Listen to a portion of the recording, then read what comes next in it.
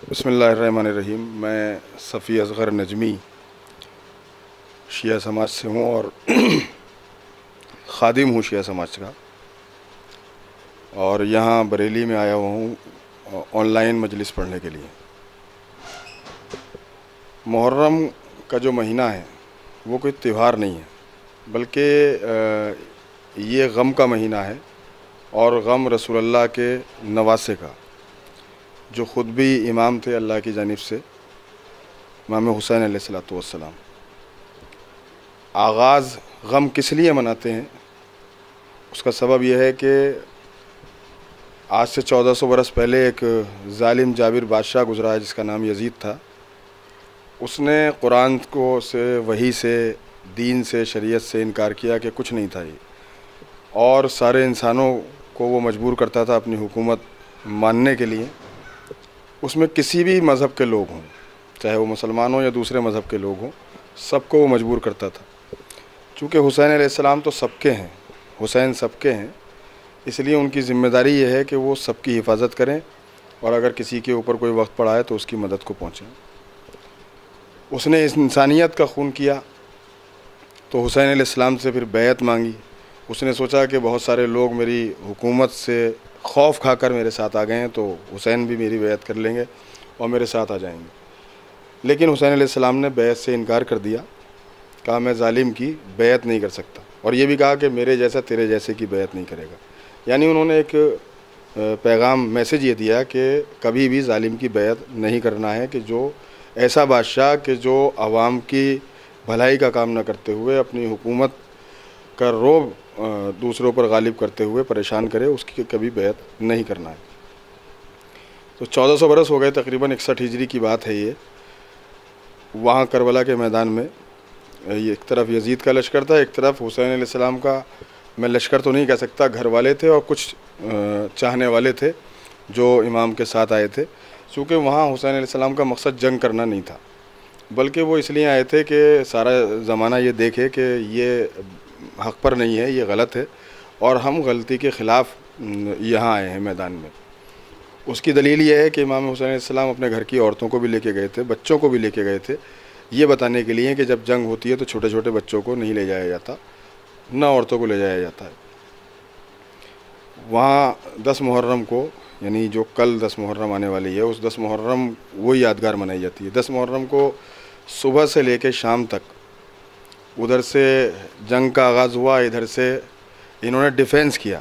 जंग नहीं की, बल्कि जब इनके ऊपर हमला हुआ तो इन्होंने बचाव के लिए और फिर वो उसके नतीजे में इनके साथी एक एक करके शहीद होते गए। यहाँ तक के बहत्तर लोग शहीद हुए इमाम हुसैन समेत। आखिरी शहादत जो है, वो इमाम हुसैन आसमाम की है, जो उन्होंने अल्लाह की राह में पेश की। और जब शहीद हुए तो यहीं तक नहीं रुका जुल्म, बल्कि उनके जो खेमे लगे हुए थे, घर था उनका, उसको आग लगाई गई, माल लूटा, यतीम बच्चों को तमाचे मारे। उसके बाद अगले रोज़ ग्यारह तारीख को उनके सारे घर वाले जो, जिसमें दो मर्द थे सिर्फ़ और बाकी ख़वातीन बची थी और कुछ बच्चे थे, उनको असीर बना लिया, कैदी बना लिया। कई महीने तक, बल्कि साल भर से ज़्यादा कैद रखा।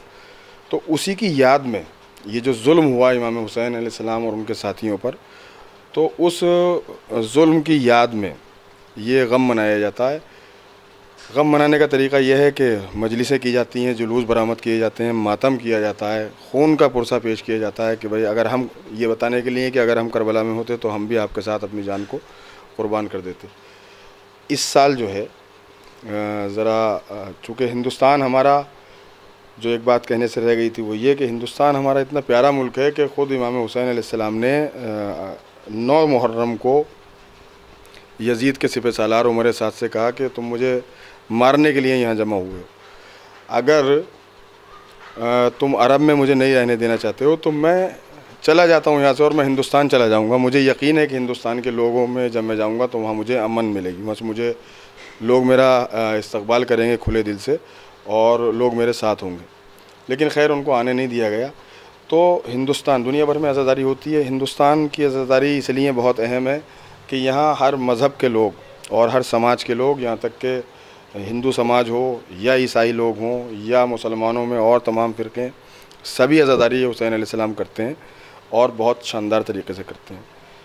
जो आज़ादारी हम लोग करते हैं, उसमें जो आज़ादार नहीं भी हैं, वो भी कॉपरेट करते हैं। सिर्फ़ इसलिए कि हुसैन तो सबके हैं। इस साल ये 2020 में हमारी, हमारा मुल्क क्या सारी दुनिया में एक महामारी फैली हुई है। और वहाँ सारे जो गैदरिंग के प्रोग्राम होते हैं, वो सब मुलतवी हैं। आज़ादारी में जो मजलिस होती है, उसमें भी गैदरिंग होती है। जो मातम होता है, वो भी गैदरिंग का प्रोग्राम होता है। जुलूस होता है, वो भी गैदरिंग का। तो इस साल चूँकि सरकार के आदेश हैं कि भाई कोई गैदरिंग ना हो, ना मजलिस होगी, ना मातम में लोग जमा होंगे और ना ही जुलूस बरामद होंगे। तो हम लोगों ने जो आज़ादारी की है यहाँ बरेली शहर में, ख़ासतौर से चूँकि मैं यहाँ मौजूद हूँ इस वक्त, सारे हिंदुस्तान में क्या सारी दुनिया में इसी तरीके से आज़ादारी हुई है? और यहाँ हमारे शहर में भी तमाम अज़ा खानों में आज़ादारी सरकारी गाइडलाइन के मुताबिक कि आप पाँच लोग वो भी फासले से बैठकर सोशल डिस्टेंसिंग रखते हुए और सैनिटाइज़र और मास्क का इस्तेमाल करते हुए। बाकी ऑनलाइन प्रोग्राम, हम लोगों के जो भी मौला के चाहने वाले हैं, उन्होंने अपने घरों में वो ऑनलाइन शिरकत की मजलिसों में। तो इस सूरत से आज नौ मुहर्रम हो गई है और अब ख़ात्मे की तरफ़ है। तो सारी मजलिसें, सारे जुलूस जो हैं वो इसी अंदाज से हुए कल का दस मुहर्रम का जो प्रोग्राम, जो बड़ा प्रोग्राम होता है, जो अहम प्रोग्राम होता है, उसमें बड़े जुलूस निकलते हैं तमाम हिंदुस्तान में। यहाँ भी जुलूस बरामद होता है और बड़ा जुलूस बरामद होता है। जरी है, अलम है, मातम होता है। लेकिन चूँकि गाइडलाइन तो कल भी लागू है, इसलिए इस किस्म का कोई प्रोग्राम यहाँ पूरे शहर में नहीं होगा। बल्कि अपने इमाम बाड़ों में और अपने घरों में, जो लोग इमाम बाड़ों में भी चूँकि पाँच लोगों की इजाज़त है तो सिर्फ़ पाँच लोग वहाँ इमाम बाड़ों में रहे हैं सारी मजलिसों में, कल भी ऐसे ही होगा।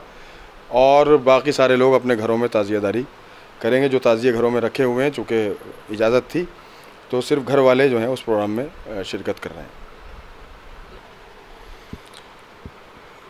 एक कमाल करबला का ये भी हुआ है कि यजीद जो था, वो बादशाह था। उसके पास सारे ऐशो आराम थे, सारी आसाइशें थीं। दौलत थी जिसकी बुनियाद पर उसने बहुत सारे लोगों को ख़रीद रखा था। ताकत थी जिसका खौफ दिखाकर लोगों को अपनी तरफ़ कर लिया करता था। इमाम हुसैन सलाम के पास अल्लाह का दिया हुआ सब कुछ था, ताकत भी थी, दौलत भी उनको थी, लेकिन दौलत का कभी इजहार नहीं किया, कभी ताकत का इजहार नहीं किया, बल्कि उन्होंने अपना एक किरदार पेश किया, हक़ की राह में, कि आप अल्लाह के लिए खड़े हों तो आप जो हैं, वो तारीख़ में याद किए जाते रहेंगे। तो आज ये सारी दुनिया देखती है, ये सिर्फ़ शिया हजरात जो इमाम हुसैन इस्लाम के चाहने वाले हैं ऐसा भी नहीं है कि सिर्फ़ शिया ही चाहते हैं, सभी उनको चाहते हैं, सभी मानते हैं और सब इस बात को बहुत अच्छी तरह से जानते हैं कि यजीद अपनी दौलत, ताकत और सिपाही और बहुत बड़े इलाके में, एक मुल्क में नहीं थी बल्कि कई मुल्कों में शाम से लेकर ईरान तक उसकी हुकूमत थी। तो इतनी बड़ी हुकूमत होने के बावजूद भी आज यजीद की कब्र का निशान तक नहीं है। कहाँ, कब मरा, कैसे मरा, कहाँ दफन हुआ, किसी को नहीं पता। लेकिन हुसैन आसमाम भूखे प्यासे तीन दिन के करबला में शहीद हुए। मुसीबत का वक्त था, पूरा घर उनका कुर्बान हुआ। पूरे जो चंद साथी उनके साथ थे, उनको भी शहीद किया गया। आज करबला में अल्हम्दुलिल्लाह सबके मज़ारात बने हुए हैं। हर साल छः सात करोड़ लोग वहाँ जमा होते हैं पुरसा देने के लिए और साल भर लोग रहते हैं। दस पाँच लाख तो हमेशा ही वहाँ रहते हैं। तो ये इस बात की दलील है कि अगर आप हक पर हैं तो आप अमर हो जाएँगे और आपको कोई नहीं मिटा पाएगा। और आप बातिल पर हैं तो आपके पास कितनी ही दौलत हो, कितनी बड़ी हुकूमत क्यों ना हो तो कोई नाम नहीं लेगा। और एक बात और ये भी है कि आज लाखों बच्चे हैं दुनिया के कोने कोने में जिनका जिन, जो, जिनका नाम इमाम हुसैन सलाम के नाम पर रखा गया। कोई एक बच्चा नहीं मिलेगा कि जो जिसका नाम यजीद के नाम पर रखा हुआ है। यानी आप अगर किसी के, अपने बच्चे का नाम किसी के नाम पर रखते हैं तो ये एक मोहब्बत का तरीका होता है। आप उसे अच्छा समझते हैं, तभी रखते हैं। यजीद का नाम कोई नहीं रखता। और यजीद का नाम कोई लेना भी नहीं चाहता, इसलिए कि ये हमेशा का कानून है कि बाकी वही रहता है जो हक पर हो, जो अच्छाई का रास्ता बताए, जो बेहतर रास्ता दिखाए, जो सीधा रास्ता दिखाए। यजीद ने ताकत का, दौलत का मुजाहरा किया, वो मिट गया, हुसैन ज़िंदा थे, ज़िंदा हैं और ज़िंदा रहेंगे।